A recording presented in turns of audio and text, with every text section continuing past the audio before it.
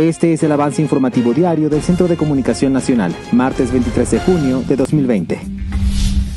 Estados Unidos reitera respaldo al gobierno legítimo. El Consejo de Seguridad Nacional de Estados Unidos ratificó el reconocimiento y apoyo de la administración de Donald Trump al presidente encargado Juan Guaidó y a la legítima Asamblea Nacional.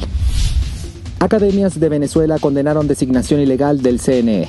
En un pronunciamiento en conjunto, rechazaron la imposición por parte del ilegítimo Tribunal Supremo de Justicia del régimen de una irrita junta directiva del CNE. Parlamento legítimo responsabiliza a Maduro por mal manejo de la pandemia. El diputado José Trujillo acusó a la dictadura de continuar mintiendo sobre las cifras de COVID-19 y culpó a Maduro de la crisis agravada que compromete la vida de millones de venezolanos. Gobierno legítimo exige libertad plena de periodistas secuestrados por la dictadura.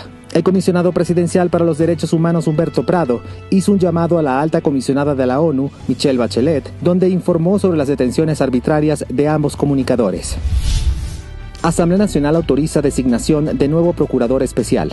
De conformidad con la ley de estatuto que rige la transición a la democracia, el Parlamento aprobó el nombramiento del abogado y profesor de Derecho Constitucional Enrique José Sánchez Falcón. Seguiremos protegiendo a Venezuela de la estafa de Maduro. El presidente encargado Juan Guaidó aseguró que la designación del doctor Sánchez Falcón tiene como objetivo continuar protegiendo al país del saqueo de la dictadura. Para estas y más informaciones, síguenos en arroba presidencia-b en Twitter e Instagram o visita www.presidenciab.com.